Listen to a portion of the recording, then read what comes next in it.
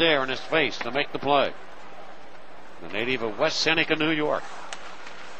And the Blues again force the issue back to Penguin real estate.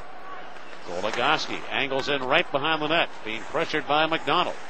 Wants to get the puck to Evgeni Malkin. He turned the wrong way. Korea threw it between the circles. Stempniak looks for the puck. He has it. He turns to shoot it and it's partially deflected.